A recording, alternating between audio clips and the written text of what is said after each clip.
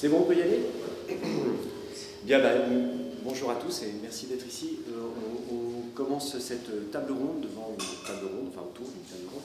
Donc euh, bonjour et merci à Sébastien, euh, François-Xavier et Paul. On, va essayer de parler de, cette notion de nouveau luxe, nouvelles écritures durables, le luxe au singulier, les écritures au pluriel. et on, va essayer de, bah, d'échanger autour de cette notion et de se dire des choses intelligentes autant que possible. Euh, peut-être faire un premier tour de table et se présenter les uns les autres. Alors, je suis à ma gauche Sébastien Albert, vous êtes directeur de, l'atelier du Val et Molaire, euh, ancien de la centrale de Lyon. Oui, exact. Euh, alors l'atelier du Val et Molaire, atelier de peinture et de décoration depuis le 19e siècle, 1868 1868, exactement.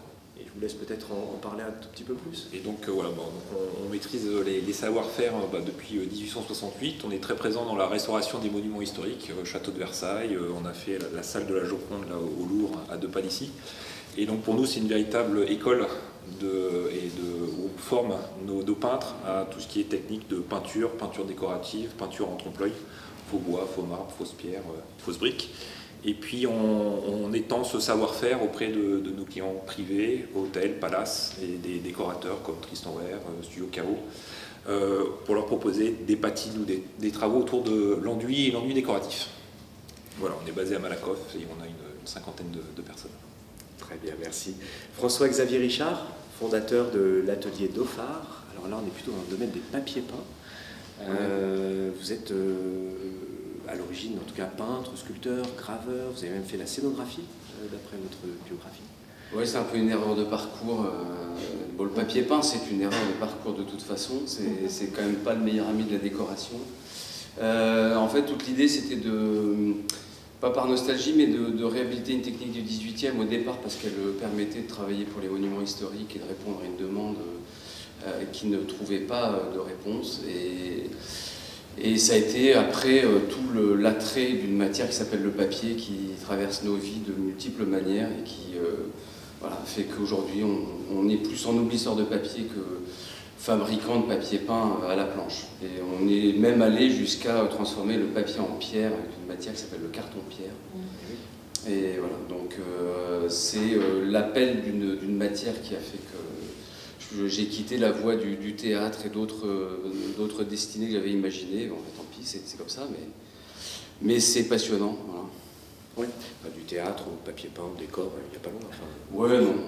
On est un peu dans les, mêmes, euh, dans les mêmes sphères finalement, en tout cas pour en reparler. Et puis Paul, Paul Marchesso, euh, donc Paul, euh, diplômé de l'école Camondo, ancien élève de notre école, et fondateur du, du, studio Emilio Studio, euh, Paul, architecte d'intérieur, designer, et puis auteur aussi de la scénographie qui est juste à côté de l'exposition autour des, ateliers campus.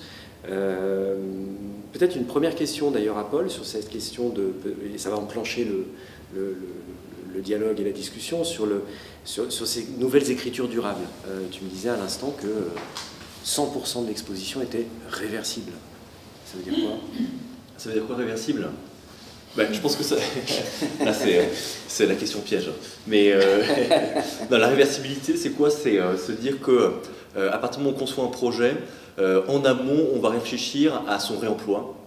Donc au fait qu'il puisse être démonté et réemployé. C'est-à-dire qu'on puisse ne pas avoir de perte de matière, donc de déchets en tant que tel, et que en fait à chaque objet, chaque élément puisse être réutilisé dans une utilité, une fonction qui est souvent la fonction première euh, de l'objet qu'on utilise ici, qui sont des panneaux de porte, ou de la matière. Voilà, sans, le, sans qu'il y ait de perte entre guillemets de, de, fonction. Ça, c'est vraiment l'enjeu du réemploi et euh, de la réutilisation. Parce qu'après, sinon, on recycle. Quand on recycle, eh ben, on retransforme la matière. Donc là, tout l'enjeu, justement, c'est que vous avez que des panneaux de porte, donc c'est un système, c'est un système simple, voilà, et donc sur lequel on peut démonter, réagencer comme on le souhaite et réutiliser après des tables en table ou réutiliser comme des portes. Voilà, l'ensemble peut être totalement réversible et même réutilisé dans d'autres situations. Ouais, ça revient à préparer le réemploi, quoi. Ah. Ça, revient à préparer le réemploi. Oui, oui, exactement. Il faut le préparer et euh, surtout il faut l'anticiper, c'est ça l'enjeu c'est que tout enjeu dans la conception aujourd'hui, si on parle de durabilité, c'est tout de suite, dès la, euh, conception d'une scénographie ou d'un projet, penser la réversibilité. Ça, c'est pour moi un des enjeux fondamentaux en fait, de la conception aujourd'hui, si on parle d'écologie de manière générale. D'accord. réversibilité, durabilité, alors frugalité aussi, et, réemploi. Vous avez mené, alors avec les ateliers du Valais-Molaire, un atelier, un workshop autour de alors j'aime pas trop ce mot de customisation, de transformation, d'un certain nombre d'objets, de meubles. Ça consistait en quoi? Bah, Peut-être je vais rebondir sur ces choses-là, mais euh, l'enjeu après, si on, parle de réemploi, durabilité, même de luxe, euh, c'est euh, de pouvoir valoriser des objets qui sont désuets en leur donnant une autre valeur grâce au travail de la surface. C'est pour ça que c'est ce, travail avec les étudiants et les ateliers du ballet Moller est assez euh, intéressant et amorce aussi des réflexions de fond. Euh, se dire aujourd'hui on a plein plein d'objets, là l'objectif du, euh, du, workshop avec les étudiants c'est d'utiliser des objets issus de l'école Camondo, donc qui font partie de leur de leur environnement, et comment leur donner une nouvelle valeur. C'est que pour eux, c'est leur objet du quotidien, leur objet pédagogique, qui en fait triture au, au, cutter, leur donne voilà, peu d'importance. Ben là, comment on va leur redonner de la valeur? Et donc tout l'enjeu, c'était de travailler la surface, donc travailler les faux, les faux semblants, euh, travailler aussi la matière, donner de, la surface, transformer les surfaces de chacun des objets pour leur donner une nouvelle utilité. Vous avez des porte-documents qui deviennent des appliques, il y a plein de choses qui changent. Vous avez euh, des triples prises qui prennent des, dimensions totalement différentes. Voilà, il y a plein de choses. Peut-être que euh, sur ce travail-là, il y a eu aussi un gros échange, je pense, extrêmement intéressant avec du ballet Moller sur vraiment les possibilités euh, et la capacité de ce genre de métier à mettre en œuvre justement des travails de surface et quelles sont justement ben, les, contraintes aussi que l'on peut avoir. Et donc ça, c'était un jeu assez intéressant. Exactement. c'est le gros avantage en fait de, la peinture, c'est qu'on travaille le revêtement, on travaille la surface avec un film mince et euh, on va dire que la peinture et la peinture décorative, on, a une, palette vraiment infinie de, possibilités de décor. Et on est même allé un peu plus loin, puisqu'on n'a pas travaillé que la peinture, on a travaillé aussi l'enduit, donc avec un peu d'épaisseur, et euh, notamment pour, réaliser la, ennoblir une des tables, on va dire, mythiques de Camondo utilisées par l'ensemble des élèves, et qui euh, effectivement donne un, aspect vraiment totalement, différent. Et le gros avantage, c'est que voilà, vous partez d'un objet qui existe et vous, vous l'ennoblissez pour en faire euh, vraiment quelque chose de, plus beau, grâce à la peinture. Bah oui, parce que ça va changer un peu du travail euh, sur les lambris de Versailles ou dans les, monuments historiques.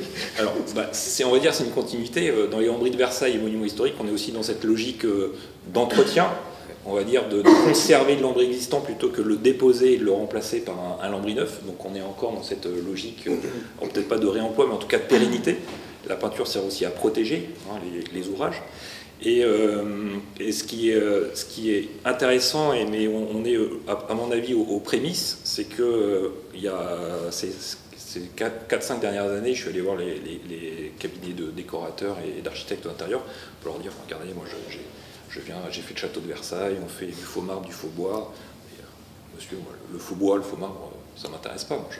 je, veux du vrai, quoi. C'est, euh, c'est la matière noble qui compte. C'est du vrai bois, du vrai marbre. Bon, donc on, reste encore sur la, volonté d'avoir des, matériaux nobles, mais quand on voit ce qui se passe dans, le, dans, tout ce qui est la, fashion, on en parlait justement avec René Jacques à midi, et eh ben Véja avant, on ne parlait que de chaussures cuir, mais Veja est arrivé avec euh, euh, du, coton recyclé, du euh, plastique recyclé. Je voyais très récemment que LVMH aussi avait fait des, défilés de mode avec des, anciens vêtements qui ont été upcyclés. Donc on a petit à petit la mode et le luxe aussi commencent à avoir ces, enjeux liés au, développement durable, au local, au recyclage et au fait de, conserver effectivement, de, ne pas jeter, on va dire, nos, nos objets euh, désuets. Oui. Faux bois, faux marbre, mais vraie peinture décorative. Ça reste, euh, après, euh, c'est le, on va dire, c'est l'œil final qui, qui, le décidera, oui. Alors, dans, cette optique-là, François-Xavier, effectivement, enfin, une question qui vient comme ça, faire du, papier peint à la planche à la manière du XVIIIe siècle, quel intérêt au XXIe siècle? C'est une bonne question. je ne sais pas. Je, non, si. Moi, je pense que dans, l'anticipation aussi euh, et dans la manière dont, les choses doivent évoluer, il y a le, rapport à l'humain. Et je pense que nos métiers sont centrés sur l'humain et la machine est un, est un support, mais ce n'est pas une finalité. Et je pense que c'est réaffirmer l'humain à travers tout ce qu'on va faire et tout ce qu'on va, du process, même de la conception jusqu'à jusqu'à l'installation et même jusqu'à celui qui va vivre dans un intérieur, par exemple, décoré avec nos papiers. nous, on a intégré les outils numériques, par exemple, beaucoup dans notre démarche, mais euh, c'est pas pour intégrer les outils numériques, c'est pas pour, dans un souci entre guillemets d'une modernité qui passera euh, aussi vite qu'elle est apparue, c'est parce que euh, elle, permet à l'humain de l'assister dans un, dans un travail de réflexion et de fabrication, mais partout l'humain doit garder sa place, sa trace, son empreinte, on conserve cette partie-là, et ça c'est très important. Et donc pourquoi faire du papier peint dans des techniques du 18e c'est aussi parce que ça répond à la notion, la vraie notion du luxe, qui est euh, le sur-mesure. Et je pense que euh, ça donne un caractère d'exception à chaque ouvrage que l'on va faire. Et même si on va répéter le geste, euh, une fois encore, l'humain, le, fait que l'humain soit au cœur du, dispositif fait que chaque pièce sera unique. Et on a fait par exemple un tirage de, livres d'art pour Miguel Barcelo et Michel Butor. Euh, chaque tirage est, unique en fait. C'est 99 exemplaires, mais il n'y en a pas deux qui se ressemblent. Euh, sur une même, un même procédé, une même démarche. Mais voilà, je pense que euh, j'aime bien aussi dans l'idée d'anticiper. je pense entendre l'idée de, gâchis et je pense que de, gérer des choses sur la durée, c'est important. Alors le papier peint, c'est pas forcément le meilleur le meilleur support pour ça, puisque depuis toujours, euh, on fait des décors en papier pour qu'ils soient remplacés. Sauf que nous, on a, on a appris euh, aussi à travailler sur les monuments historiques, en travaillant sur les monuments historiques, que euh, les couches se superposent et qu'en fait on, lit l'histoire comme ça sur des couches qui se superposent. Et il y avait même des fonctions d'ailleurs dans la superposition du papier. Par exemple, quand euh, on prend des, logements de mineurs, euh, on a fait des logements de mineurs dans le nord de la France où les, les, logements étaient recouverts de papier tous les six mois pour donner un peu de gaieté à un environnement qui était extrêmement délétère. Et toutes ces couches de papier créer une espèce d'enveloppe rassurante et même une enveloppe euh, physiquement euh, euh, isolante. voilà. Donc il peut y avoir aussi des fonctions au fait de, conserver, de ne pas gâcher, de faire des choses dans une perspective de durabilité. Et voilà, donc je ne sais pas exactement pourquoi je me suis lancé au départ dans le papier peint, je ne sais toujours pas, mais en tout cas, voilà, j'ai suivi, j'ai suivi une intuition et des, choses qui sont apparues, et toutes ces questions d'écologie, de, de de réflexion sur la durabilité, sur le luxe, en tout cas une certaine notion du luxe, euh, se, sont ouvertes naturellement en fait avec ce, métier. Est-ce que ça veut dire qu'au fond, l'objet, euh, au-delà de sa, qualité euh, intrinsèque, sa, matérialité, ce qui compte aussi énormément, c'est tout le process qui a conduit à sa fabrication En fait, on est dans cette idée d'un plus, d'une espèce de story doing aussi. Ouais, moi, alors ça, je me rendais pas compte de ça au départ, et, ça, c'est quelque chose que j'ai croisé beaucoup.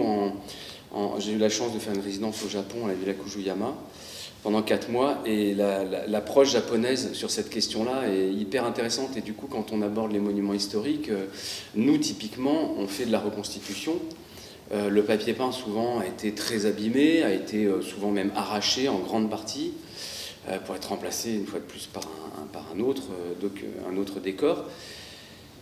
Et la question se pose de est-ce qu'il faut conserver absolument le décor en place, etc. Ou est-ce que, à la manière un peu dans cette idée des Japonais, que le plus important c'est tous les savoir-faire qui sont derrière ces objets, qu'il faut absolument conserver, développer, etc. Ce qui fait que tous les 30 ans, ils, démontent complètement, par exemple, le temple d'Odyssée pour le reconstruire à l'identique, parce que ce n'est pas l'objet lui-même qui est intéressant, c'est tous les humains et tous les, savoir-faire qui sont véhiculés à travers ces techniques-là. Et, euh, je pense que c'est devenu euh, un peu une sorte de philosophie dans nous, dans notre approche, et pour les monuments historiques, qui est une réponse qu'on essaie de leur, apporter, parce que et des fois, c'est un peu peine perdue de conserver un document en l'état in situ. On leur dit il vaut mieux faire une reconstitution avec les savoir-faire euh, qui vraiment sont dans le respect de, l'objet lui-même euh, que de vouloir absolument le conserver. Ça, on le dans un musée et on peut le voir dans un musée. Mais, euh, moi, j'ai un grand respect quand même pour les, gens qui les, fabricants, les, artisans qui font de leurs mains, parce qu'au-delà de la main, il y a beaucoup de choses qui se passent. Donc, l'objet lui-même, oui, est important, mais c'est voilà, un argument de toute façon. Une fois encore, je ne sais pourquoi, pourquoi je suis dans le papier peint, donc il fallait bien que je trouve un argument. Euh, c'était le papier peint. Donc je me suis dit, qu'est-ce que, comment je pourrais faire avancer l'humain avec du papier peint Voyons. bien que la question était tordue. la réponse l'est encore plus d'ailleurs.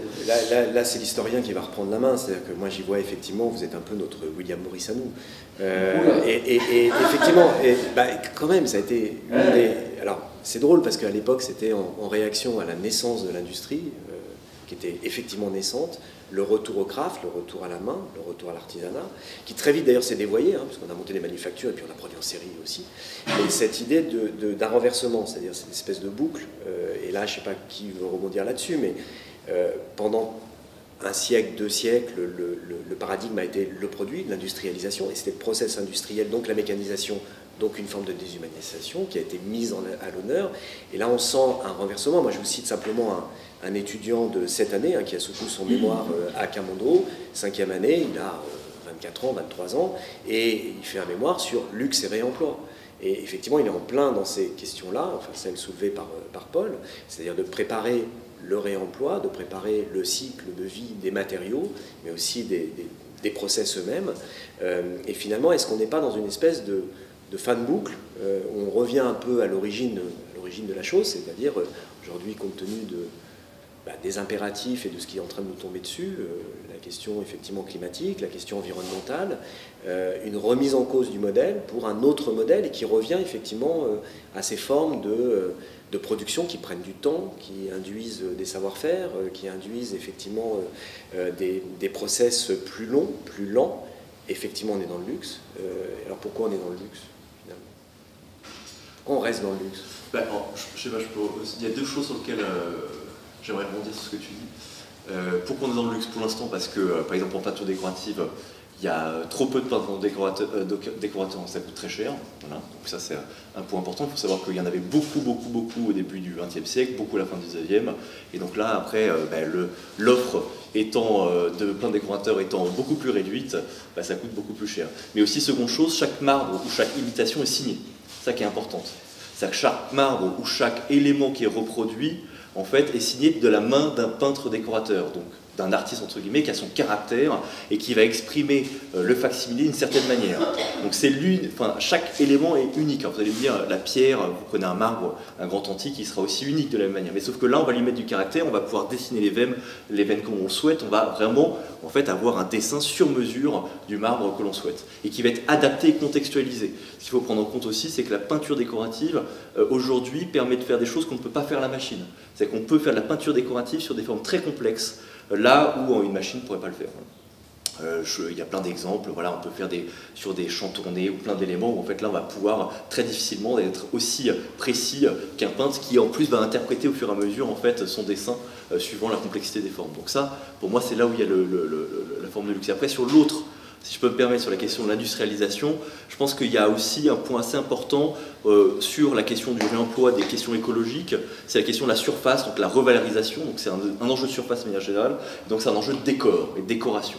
Ce qui pouvait paraître inutile dans le monde industriel, c'est que le décor, voilà, aujourd'hui redevient utile par sa fonction écologique de revaloriser en fait des objets ou des, ou des, ou des intérieurs. Et je pense que c'est là où justement les choses se lient et on revient avec euh, en fait une idéologie du milieu du 19e siècle, même fin du 19e siècle, où, voilà, où le décor va prendre une forme on va dire, de, de, fonction et d'usage, mais là qui va avoir une fonction écologique. Enfin moi c'est mon avis. Hein. Le grand retour du décor. Ouais, mais moi je trouve que sur la, notion de. Là où on trouve de la noblesse dans le réemploi aujourd'hui, moi je pense que. Et là où on a tendance à s'excuser sur l'idée du retour, moi je pense que c'est pas la peine de s'excuser sur la notion du retour.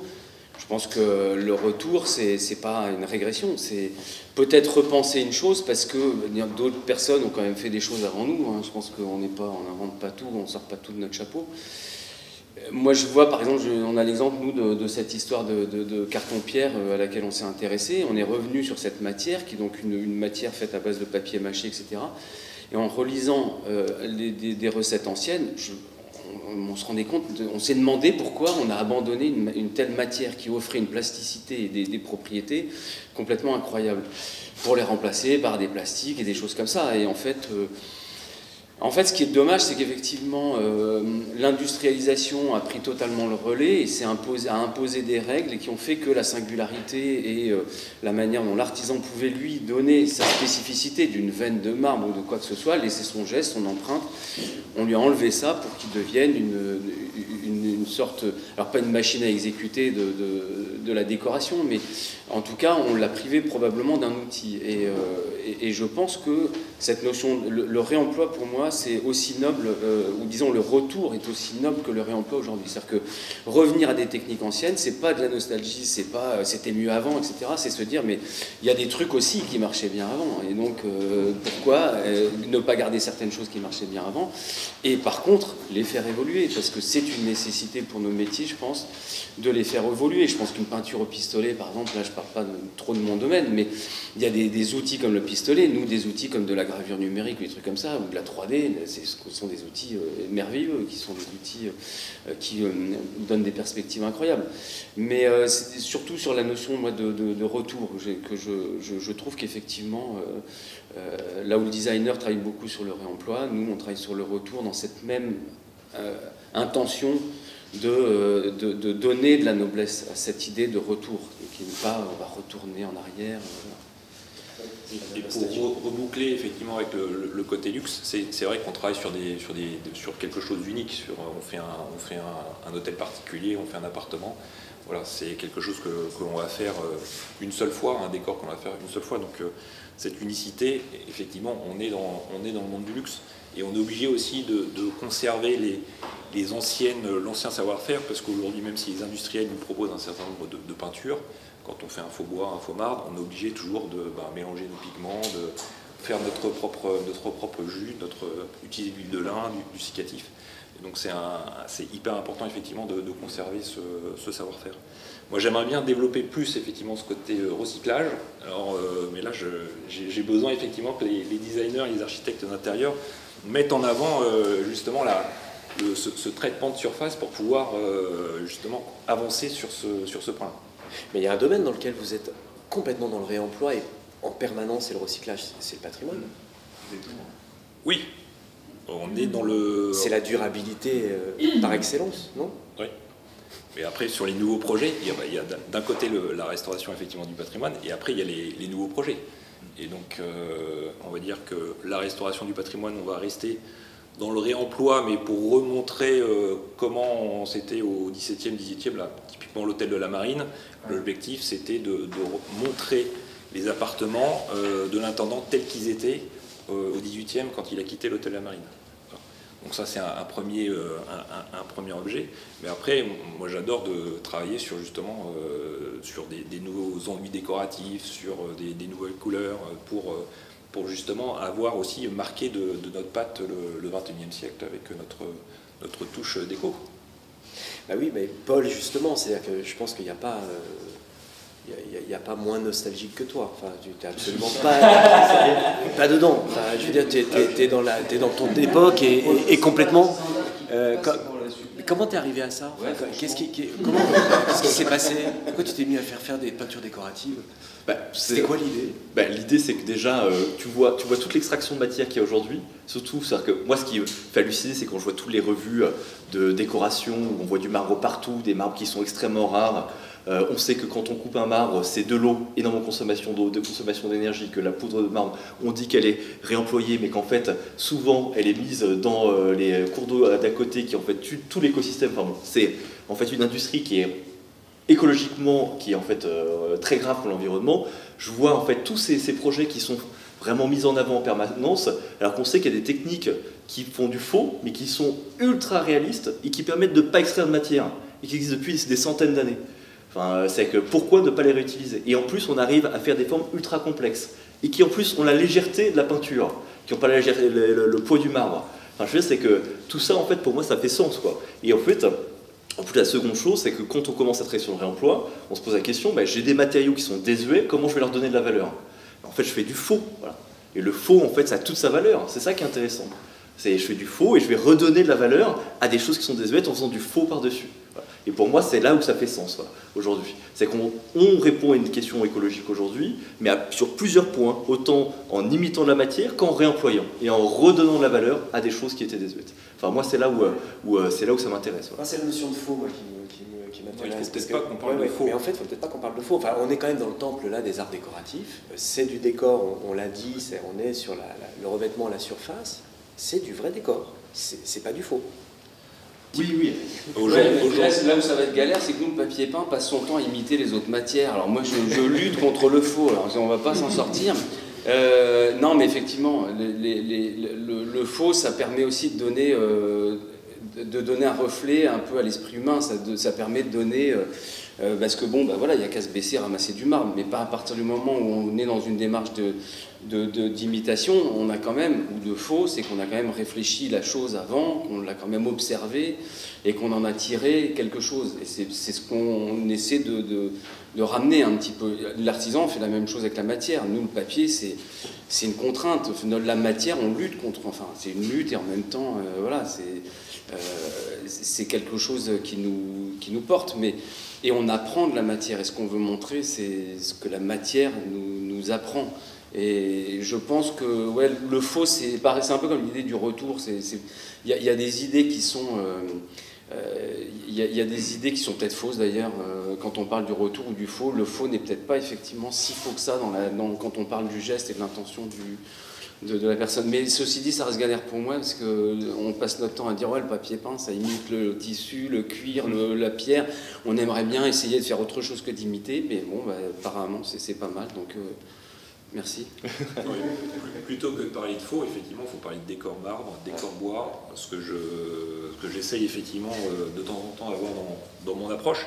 Mais c'est vrai qu'on est, tellement marqué, on va dire, euh, euh, par nos, tellement marqué par le fait qu'on dit c'est du faux bois, du faux marbre, c'est du trompe-l'œil, qu'effectivement on, est, on, oublie que derrière il y a un, aspect créatif, que derrière chaque, chaque décor marbre, on a une main particulière. Euh, qui, euh, si on, fait faire ce, décor marbre à une autre personne, on va avoir une, subtilité différente. Et donc euh, c'est important, je pense, effectivement, de, changer notre, vocabulaire sur ce sujet. Le, trompe-l'œil est peut-être plus intéressant que le faux, déjà. Oui, c'est ça. parce que le trompe-l'œil, j'allais dire, tout type de revêtement, tout type d'aménagement est là pour, de toute façon, produire un type de perception, donc quelque part tromper ou conduire, en tout cas. Bah, dans trompe-l'œil, on a encore cette notion de faux et de trompe. Est-ce que vous n'êtes pas dans l'illusion, la magie? Au bon sens du terme. Ah oui, ça c'est. Parce que finalement, beaucoup plus poétique. Qu'est-ce que vous faites là? Vous réenchantez des objets, donc il y a quelque chose quand même d'assez. Par l'illusion en fait du trompe-l'œil, euh, vous réenchantez l'objet. Sur le papier peint, par le motif, vous créez aussi des univers qui sont sur la 2D mais qui peuvent donner aussi des formes de profondeur. Donc vous êtes aussi un peu des artificiers de, d'un rapport entre la 2D et la 3D euh, qui, qui, qui, du coup crée quelque chose d'assez magique d'une certaine manière, au, bon sens du terme, c'est-à-dire c'est une illusion, de, le fait de passer toi de, du, papier peint qui est a priori en, 2D au carton-pierre où, tu vas en, trois dimensions et tu, euh, habites l'espace et euh, sur la peinture, je dirais décorative, en trompe-l'œil, vous êtes dans une démarche euh, je dirais, qui, donne une dimension en fait euh, très différente et supplémentaire à une surface et, à un objet. Euh, pardon d'avoir cette réaction. Non, non, mais moi, il y a un côté magicien quand même. Ah, ouais, le bon sens du terme. Ce que tu dis, c'est le rapport à l'imaginaire. Et nous, on développe beaucoup l'idée que euh, le, moi, je me suis raccroché à ça, je me suis raccroché à des, trucs qui n'étaient pas évidents avec le papier peint, parce que bon, on le sait quand même, même, euh, regarde, au, sein des arts décoratifs, le papier peint, c'est pas le département le plus évident euh, pour représenter la, superbe de la décoration. Donc, il y a quand même un truc. Et en fait, de se rendre compte que c'était des sortes de livres ouverts qu'on racontait des histoires avec tout ça, mais je pense qu'on le fait de la même manière avec la matière, avec un faux marbre, avec un faux bois ou des choses comme ça on, raconte, ouais, même sans forcément mettre des figures, sans forcément mettre de la, représentation, je pense qu'on, effectivement, moi je te rejoins complètement dans l'idée qu'on excite un peu l'imaginaire et qu'on vient. Euh, c'est peut-être pas une, boîte magique en elle-même, mais c'est quelque chose qui génère ça, qui génère de la magie de celui qui va regarder de celui qui va être. euh, Donc peut-être que le faux, c'est pas mal aussi. Ouais. C'est le côté théâtral, moi ça me fait assez. Bah, dans ce que dit La magie, ouais. aussi, c'est que vous produisez de l'espace. Non? Vous qualifiez l'espace Bien sûr. par les murs, par les surfaces. Nous, enfin, historiquement parlant, il y, a, il y a- il y a eu un peu un déclin par rapport à ça. C'est-à-dire que nous, on essaie de revenir à l'idée que le papier est en dialogue avec l'architecture. Parce que le papier peint, à cause d'une grande industrialisation, ça a quand même été un truc dont on a tartiné tous les murs de France pendant euh, des années, et qui a fait d'ailleurs la saturation du papier peint. Et du coup, euh, et la saturation d'ailleurs au passage du motif, euh, probablement de la couleur, et de tout ce qui va avec, de tout ce que porte le- le- décor sur papier. Et là encore, avec l'histoire, on se rend compte qu'il y avait un vrai jeu combinatoire à l'époque de bouts de papier qui dialoguaient avec l'espace, etc. Et donc, euh, euh, je pense qu'il y a, un, ça, c'est un truc nous qui a été, euh, qui était en déclin, qui a jamais été perdu, je pense, par la peinture, évidemment. Euh, mais euh, le- papier peint, ça se réduisait à tartiner des murs avec un motif qui se répète. En plus, c'est un truc complètement euh, psyché, obsessionnel, euh, un peu, un peu dingue, et euh, avec une bordure éventuellement en haut, en bas. Puis voilà, on a fait le décor. Et je pense que là aussi, dans l'idée de retour, nous, on est beaucoup revenu sur un, retour de réflexion sur déjà pourquoi mettre du papier sur ces murs et du décor sur ces murs, à quoi ça sert? Donc, là, je te rejoins encore complètement sur l'idée de magie et de singularité, de choses qu'on va raconter sur les murs. Et c'est un retour dans le sens, euh, nous, ça a été vraiment un retour en arrière euh, pour voir aussi aux sources de ces techniques qui apparaissent au début du 18e, fin du 17e voir s'il y avait ces motivations-là ou si euh, c'était une, vue de l'esprit. Et en fait, euh, c'est parce que ça nous aurait fait plaisir que c'était le cas, mais c'était le cas.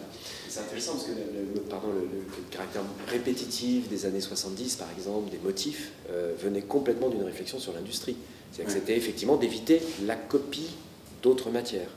Ce qui était Oui. reproché à, toutes les, à- oui, à toutes les formes de, de production décorative qui imitaient euh, au XIXe siècle et les styles et les matières et les techniques, euh, de façon cheap d'ailleurs. Euh, C'était du pas cher, hein, très clairement. Euh, et donc, dans les années 70, on est plutôt 60, 70, et sous l'effet de la modernité, dans la- l'adoption du motif. Et le motif venant du. C'est le tampon, c'est l'imprimerie, c'est- le moule, c'est effectivement la reproduction d'un élément sans fin. C'est la série. typographie, presque, d'une certaine manière, c'est presque des lettres, enfin des caractères qu'on met sur. Ça, ça vient de Gottfried Samper, de Viollet Duc, ça vient du 19e siècle, ça de toute la réflexion sur le début de l'industrie, en fait. C'est ça que William Morris est très très présent, trouve. Mais il y, en avait déjà au 18e quand euh, il fallait quitter cette, euh, euh, un peu cet impératif du papier d'imiter le tissu pour des raisons économiques, pour fournir un produit qui coûtait moins cher que le tissu et qui permettait euh, à la bourgeoisie ou à la noblesse de, décorer des pièces secondaires ou des, résidences secondaires en mettant des moyens moins importants qu'avec des, des boiseries peintes ou des choses comme ça. On imitait. Et les premiers efforts justement de, décoration, de, singularité dans la décoration, ont été faits euh, dans le papier peint pour essayer de s'arracher à cette idée d'imitation, notamment en reprenant toutes les, euh, tous- tous, les, tous les codes de la peinture décorative, là pour le coup, euh, de Raphaël, etc., de, de- des, des- des décors en arabesque. euh, Et ça, c'était les premiers moments où on a un peu quitté ce, ce truc de l'imitation, en fait. Non, non, mais je, en, vous entendant, en fait, euh, ça- je me fais plaisir en disant ça, hein, mais vous faites de l'architecture intérieure. Bah, eh, tu te dis vous faites de l'espace, mais tel que vous le décrivez, vous faites profondément de l'architecture intérieure. Parce que si le papier peint, effectivement, vient, euh, je dirais, euh, euh, composer avec les éléments intrinsèques d'une architecture, en, soit en le prolongeant, soit en l'agrandissant, soit en l'éclairant, soit en, en- en créant quelque chose, c'est- fondamentalement de l'architecture intérieure. Aussi en peinture, on peut le faire en peinture sur, les, sur les, les différentes finitions, satin, brillant, mat, et donc euh, en fonction de la couleur, euh, c'est-à-dire plutôt euh, foncée ou plutôt claire, on va effectivement donner un- une impression de volume qui va être une perception du volume qui va être complètement, complètement différente. D'ailleurs, dans la couleur, ce qui est intéressant, c'est que vous pouvez avoir une finition mat profond, mat, velouté, satiné, brillante. Vous, vous mettez la même couleur, mais vous mettez les quatre à côté, l'œil perçoit quatre couleurs différentes. Pourtant, c'est la même teinte. Mais, et, et donc, on peut jouer. C'est jouer avec la lumière. On peut jouer, on joue avec la lumière. Mais il y a, alors là, je vais sortir du bois parce que effectivement, là, je vais reprendre ma casquette. De... Là, là, on s'amusait, là, on se promenait, mais effectivement, je vais, je vais reprendre ma casquette de directeur de la recherche et, et des post-diplômes à Camondo. C'est-à-dire que moi, j'ai en stock euh, une idée, un, un truc qui, qui, qui, nous trotte dans la tête depuis plusieurs années, et, et d'ailleurs qui a été repris par des étudiants euh, dans leur mémoire, j'en parlais tout à l'heure, sur cette idée du luxe, du réemploi, qui était un, un programme. Euh, un pôle de recherche et d'enseignement autour de nouveaux ensembliers, parce que voilà, on est des nouveaux ensembliers, enfin Paul peut en attester. Et puis j'avais mis deux points, euh, durabilité, réversibilité, circularité. Pour ça que je te posais la question de la réversibilité. Et je me demandais, vous, vous êtes euh, détenteur de savoir-faire, on vient de le dire, on vient d'en parler, quoi. C'est-à-dire que vous travaillez sur l'espace, avec l'espace, et il n'y a pas de distinction, on est d'accord, on ne va pas revenir là-dessus, entre le faire et le penser, on réfléchit tous, euh, pour faire, faut penser. Pour penser, faut un peu faire, sinon ça ne marche pas. Euh, Est-ce qu'à un moment donné, euh, alors le constat c'est quoi? C'est en architecture d'intérieur. Paul pourra en attester. Tu, vas, tu vas me dire si je dis des bêtises ou pas. Quand on a un projet d'archi, euh, un intérieur quel qu'il soit, la première chose qu'on fait, bah, c'est qu'on va décrouter et béner tout ce qui est en place. Et on va faire place nette. Et puis après, on va recommencer tout le processus de, bah, de consommation, de matière, de savoir-faire tout le, le, story doing dont on parlait tout à l'heure, euh, et on remet tout en place. Alors moi j'ai une question, et c'est là où les monuments historiques aussi m'intéressent, euh, parce qu'il y a un savoir-faire là pour le coup de euh, conserver ce qui existe. Conserver, le valoriser, alors dans l'optique de refaire à l'identique, mais par exemple dans le cadre des papiers peints, est-ce qu'il y a moyen de se dire à un moment de mettre en place un process, une démarche qui consiste à se dire qu'est-ce que j'ai sur les murs? Alors on sait qu'on épluche des murs, hein, c'est un véritable palimpseste, on remonte le temps euh, en, épluchant les petits bouts de papier peint. C'est passionnant. Moi, j'ai fait un peu d'archéologie du bâti. C'est un monde. En plus, c'est hyper excitant intellectuellement. On monte de décennie en décennie, de mode en mode, et, on se dit jusqu'où on va aller. Bon, en général, on est déçu parce que ça s'arrête trop vite. Euh, mais est-ce que si, euh, on dit on n'épluche pas le mur, ou on l'épluche partiellement, ou on récupère les papiers peints, par exemple, en mauvais état, est-ce qu'il peut y avoir une démarche, une sorte d'atelier sur site, une sorte de, de démarche de, de, de, prise en compte de l'existant, le compléter, le valoriser, un petit peu ce que faisait Paul avec euh, effectivement ces objets qui n'ont pas de valeur en soi et qu'on va euh, transformer, transcender, à qui on va redonner une valeur par euh, de la peinture décorative, par un traitement de surface. Est-ce que ça c'est quelque chose qui pourrait être un, une piste euh, par rapport au réemploi, par rapport à la durabilité, par rapport à un nouveau luxe?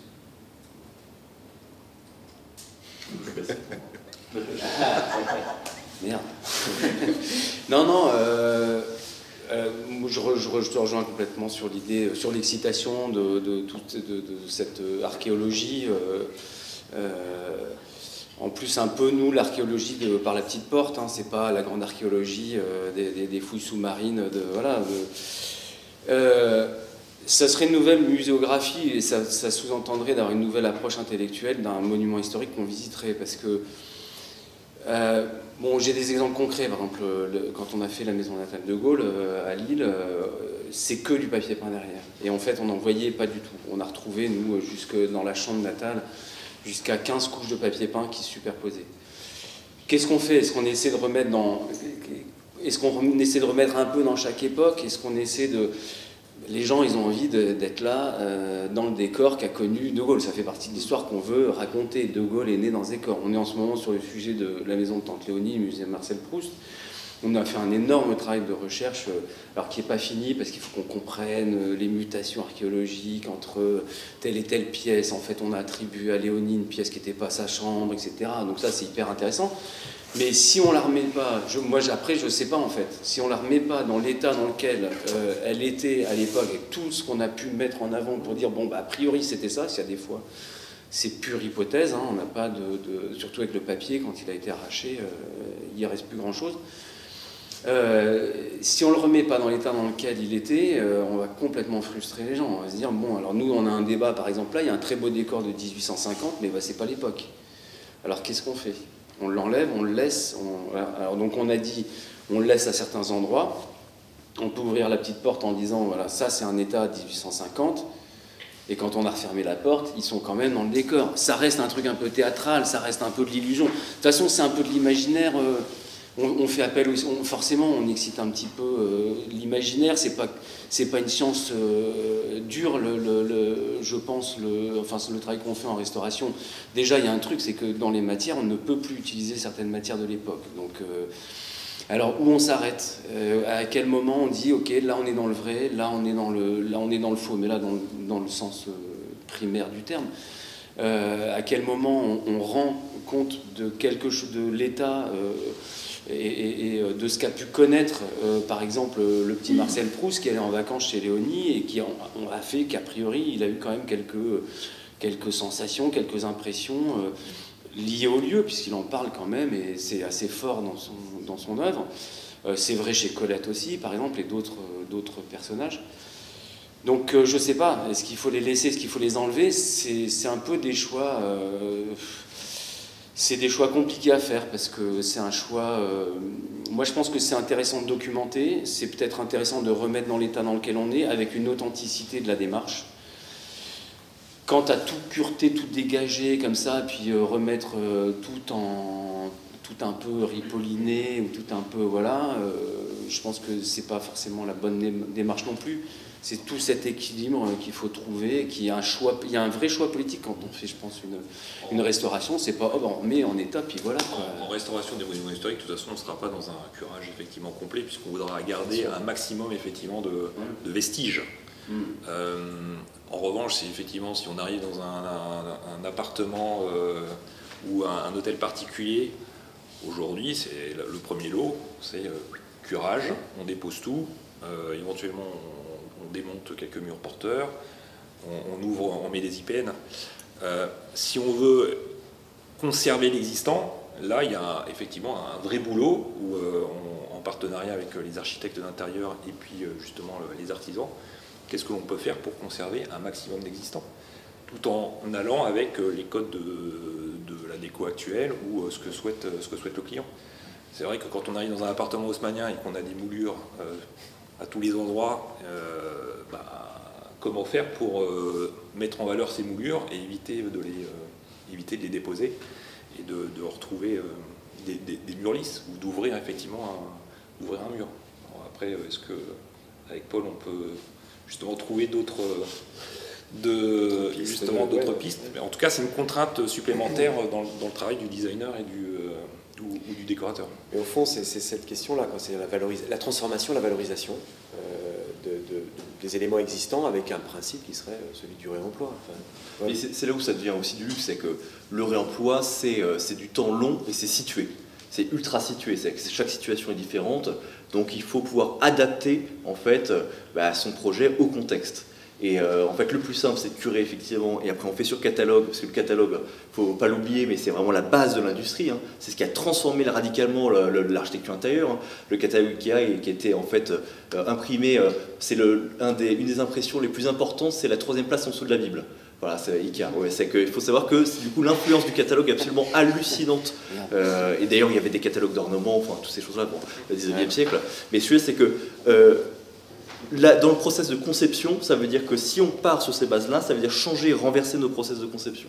C'est que c'est ultra situé, euh, c'est c'est sur place avec les artisans, travailler justement sur de l'ultra euh, sur mesure, voilà, pour pouvoir en fait contextualiser et pouvoir maximiser le réemploi des, éléments. Et donc ça, ça demande euh, de plus être sur une reproduction d'image, voilà, parce qu'en fait, le gros problème aussi, c'est qu'aujourd'hui, dans la conception de l'architecture intérieure, on se base sur des images références, on fait des patchwork d'images références, et à partir de ça, on va pouvoir faire une création qui est tendance, Instagrammable ou tout ce que l'on veut. Ben non, en fait, à partir du moment où en fait, on va faire du situé, de l'ultra situé, et eh ben on travaille avec ce qu'il y a. Donc on n'est plus sur du référentiel d'image, en fait on va travailler avec ce qui est possible et on va travailler avec des artisans pour pouvoir essayer de, comprendre comment on peut restaurer ou euh, incarner un style dans ce site-là. Donc pour moi c'est des process à changer aussi. Hein. Euh, là, on fait un appartement en ce moment, ben, on a contacté le menuisier euh, avec qui on travaille, on lui dit voilà c'est quoi aujourd'hui tes chutes que tu as et à partir des chutes, on fait le capinage de tous les mobiles. Donc les couleurs, on ne les choisit pas c'est euh, les euh, chutes euh, qu'il y a, et c'est comme ça qu'on va faire de l'ultra-situé et qu'on va travailler sur des choses qui sont réemployées. Mais du coup, on n'est pas sur un carnet de tendance avec tous les éléments où déjà tout est. où j'ai juste à appeler, passer un coup de fil et c'est parti. Là, c'est du sur-mesure, ça prend beaucoup plus de temps de conception. Donc c'est cher. Mais du coup, il y a de la conception. Il y a la- C'est pas un truc tout fait en catalogue, comme tu disais, Oui, où non, on mais- sort du oui, catalogue. non, bien sûr, non, mais, c'est ça qui est non, mais hyper je sais qu'il y a de la conception. Oui, bien sûr, mais il y a de la conception, mais du coup, c'est du temps de conception. Ah bah ouais, Donc, ouais, ça, demande beaucoup d'agilité. c'est un- C'est une nouvelle méthodologie de travail. Bah, c'est une méthodologie ultra située, voilà. Donc ça demande de comprendre le cycle, comprendre ce qu'on a comme matière, de partir de la matière. C'est, j'en ai pas parlé moi, avec Rotor, euh, donc qui quand même euh, sont un peu les précurseurs, on va dire, en architecture sur ces questions-là. Euh, eux, leur principe, c'est ça, c'est de dire aujourd'hui un projet, euh, c'est pas euh, un style ou euh, une image iconique qu'on veut incarner, c'est la matière. Et c'est cette matière-là qui va incarner notre projet. Donc c'est la base. Voilà. Donc euh, je déconstruis par exemple des bâtiments, ben, c'est à partir de ça que je vais construire des choses. C'est la matière, parce que ce sont des architectes. L'architecte d'intérieur, c'est peut-être l'existant. Mais eux, ils font beaucoup d'architecture intérieure, justement. Ils font quasiment que ça. Parce qu'en fait, ils déconstruisent, ils ont une coopérative de déconstruction, et à partir des choses qu'ils ont en stock, ils vont faire plutôt de l'intérieur, parce que ce sont des matériaux d'intérieur qu'ils vont déconstruire. C'est ce qui a le plus, aujourd'hui, c'est ce qu'on peut le plus facilement déconstruire. Mais par contre, sur la, la question de- du monument historique, là, il y aurait un truc à, à- à vraiment réécrire, mais dans lequel euh, l'architecte d'intérieur ou l'architecte ne seront pas tout seuls, parce qu'il y a quand même toutes les questions scientifiques, historiques, sûr. qui vont du coup comment. euh, mais, mais il y a sûrement aussi sur ces chantiers-là et sur ces projets-là des choses à, à réfléchir, à repenser, etc. C'est euh, il y a- il y a- que ce soit le gros œuvre, que ce soit le second œuvre, la décoration, quoi que ce soit, il y a, il y a sûrement. euh, c'est- clair. Ah oui, c'est sûr. Mais c'est, après, c'est aussi toute une méthodologie, aussi, du coup, un type d'artisanat qu'il faut aussi reformer par rapport à ça. Je pense que c'est pour ça qu'on parle d'artisanat du luxe, parce qu'en fait, dans le luxe, le patrimoine, en fait, toute la logique de, de- de restauration, ben, en fait, c'est une logique de réemploi, comme tu le disais au début. Donc, en fait, c'est déjà inscrit dans certains métiers d'art. Mais euh, malheureusement, les formations aujourd'hui, on va dire de manière générale, sont pas inscrites sur des logiques de réemploi à proprement dit. Voilà, donc, euh, donc il y a aussi tout un process aussi à amener. Voilà. C'est, je pense, que c'est assez important. La conférence précédente de ce matin, on parlait beaucoup de, de, de- de- l'envie aujourd'hui des designers de ne plus être euh, des dessinateurs de formes ou de modèles, mais plutôt des designers de matière. Presque même des créateurs de matériaux. On a eu un débat sur ingénieur designer, mais ça veut bien dire aussi qu'à partir d'un matériau existant qui doit être peut-être aussi différent de ceux avec lesquels nous avons vécu pendant de nombreuses années, c'est-à-dire plastique, etc. Euh, ils ont envie, en fait, à partir de ça, d'être dans un processus euh, créatif qui crée, en fait, ou des nouveaux matériaux, ou à partir de l'existant, faire en sorte que ça crée une nouvelle matière. Et que du coup, ça induit aussi, au final, une nouvelle écriture. Pas en fait euh, parce qu'on aura dessiné une nouvelle forme, un objet de plus ou euh, machin, mais parce qu'on aura créé une forme d'esthétique qui, résu- qui, qui résultera en fait de ce travail qui euh, part quand même assez fondamentalement euh, des matériaux. C'est Enfin, ce qui se disait mais aujourd'hui, il y a, un mouvement, il y a un mouvement à l'œuvre. euh, Ça Il y a un mouvement à l'œuvre effectivement sur ces questions-là, en fait, qui est, qui est en fait pas si jeune que ça, mais aujourd'hui, oui, il y a une grosse tendance de fond sur ces questions-là. Je pense à autant Sigu qui a fait ça dernièrement que euh, Anne Saint-Pierre qui a fait une thèse dernièrement sur ces questions-là aux Arts Déco, euh, justement sur les déchets de chantier, qui a fait, qui fait des matériaux, voilà, par rapport à ça. Il y a les cartons-pierres, ouais, c'est euh, les cartons-pierres, c'est assez intéressant parce que fin 19e, il y avait plein de petits objets qui étaient redécorés par rapport à. Il y a plein de choses qui sont assez passionnantes, mais oui, oui, il y a tout un mouvement de fond. Après, il faut voir le. Moi, je pense que toute la question, c'est la question aussi. À un moment, c'est comment on change d'échelle. Parce que euh, il y a plein plein de choses qui se font. Euh, je pense qu'on a toujours l'impression qu'il y, a- qu'il y a plein de choses qui se réinventent. Mais la question aujourd'hui, c'est comment on passe à une échelle importante euh, de, ré- de réemploi et aussi euh, de pratique de ces choses-là. Et aujourd'hui, on est encore très très loin. Très très très, très loin. C'est ça la, la grande problématique. Euh, Ouais, moi je dirais même pour rebondir sur ce que tu dis, même créateur de processus, puisque tu vas bien, réemployer même carrément une manière de réemployer du bois. Mais là, du coup, et sur ce que tu viens de dire, moi je dirais que c'est le, le mot luxe, là, il commence à piquer un peu plus, du coup. Parce que, euh, voilà, c'est là qu'il peut y avoir des. des- C'est là qu'il y a un gros sujet aussi de, de- Là, on parle de l'industrie du luxe, enfin, je parle de l'industrie du luxe, mais sur laquelle il y a un vrai travail de fond à faire de, sur la manière de- de bah, d'aborder ce- cette anticipation, ce gâchis, ces processus qui sont peut-être aussi importants que l'objet fini, euh, où on va mettre en œuvre un truc incroyable, une toute une industrie en branle, avec des pertes de temps, des pertes de matière, des pertes de tout ce qu'on veut, c'est des fuites de partout euh, pour créer une espèce d'image figée de catalogue finalement un petit peu. ça, ça, change, mais il y a encore un vrai boulot à faire, je pense, là-dessus. Les, les, mentalités doivent, doivent évoluer, ça c'est clair. Ah ouais.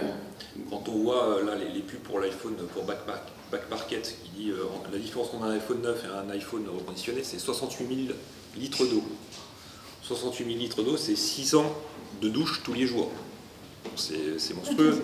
Donc à partir du moment où effectivement on a un changement de, mindset, on va pouvoir arriver justement sur ce, sur ce réemploi et euh, la revalorisation de l'existant. Et on a encore du, chemin. Il faut qu'on arrive à proposer quelque chose qui, euh, parce que c'était, pour moi, c'est encore la question de la boîte magique et de l'imaginaire. C'est qu'il faut, il faut générer de l'imaginaire autrement qu'à travers un petit boîtier euh, qu'on a tous, mais, euh, ou des, supports qui font sûrement beaucoup rêver, mais on se rend compte que quand on prend d'autres supports, euh, on arrive à générer de l'imaginaire et, du rêve tout autant, voire, voire plus. Donc, euh, mais sans un espèce de retour, euh, genre c'était mieux avant la télé, hein, c'était pas le truc, euh, c'est pas, pas l'idée là, hein, c'est voilà. Mais, c'est, mais, mais, bon, mais le chemin, il est, il est long. Je pense que par rapport à ça, enfin pour rebondir, c'est que donc imaginaire c'est image, donc qu'est-ce que, quelles sont les images aujourd'hui qui sont promues Et ça c'est une des vraies problématiques. Je pense que là, on, du coup, on parle d'étudiants, d'étudiants qui se réfèrent à des projets aujourd'hui. C'est les références qui font que les étudiants après génèrent d'autres types de projets. Je pense qu'aujourd'hui, il y a un vrai enjeu euh, dans le milieu de l'architecture intérieure de créer euh, des médiums critiques. Et c'est ce qui peut faire avancer aussi des choses. C'est qu'aujourd'hui, quand vous avez des étudiants qui prennent des références sur des choses qui sont dites écologiques ou qui ne le sont pas du tout, ou euh, quand on voit justement du vrai marbre ou plein de choses comme ça, ben en fait, ils continuent. Ils continuent. Donc il y a toute une génération qui se réfère à ces choses-là. Donc comment créer d'autres référentiels Je pense que c'est fondamental, parce qu'en fait, on a un métier de l'image, énormément de la communication, et dans le luxe, c'est que ça. Et puis, euh, après, à partir de ça, c'est aussi euh, générer de nouveaux modes de conception voilà, qui vont, euh, j'espère, en fait, se distiller dans cette nouvelle génération. Mais du coup, il faut créer une puissance critique et donc des médias critiques. Et je pense qu'il y a une des choses fondamentales qui est sous-estimée dans l'architecture intérieure, c'est la puissance des médias sur le rôle et l'influence dans la conception chez les, architectes intérieurs et les designers. Et je pense que ça, c'est totalement sous-estimé sur le plan écologique. Hein. Je pense que c'est... parce qu'on parle sur d'image et on n'a pas ce qu'il y a derrière. Donc changer les mentalités, produire de nouvelles images, convoquer les savoir-faire, euh, les savoir-faire de conception, les savoir-faire de matérialisation, bah, une, petite expo, une grande école, un grand musée, et puis euh, voilà, on produit de l'image et on, va peut-être dans le bon sens. Je vous remercie tous les trois euh, pour cette discussion passionnante, et puis on va laisser la prochaine table ronde occuper notre remorque.